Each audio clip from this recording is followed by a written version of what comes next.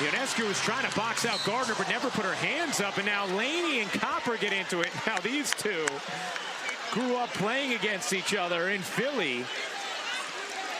AA 13 years old and, and very close friends. And each of them, Laney and Copper, Rebecca, each of them said right away, first thing they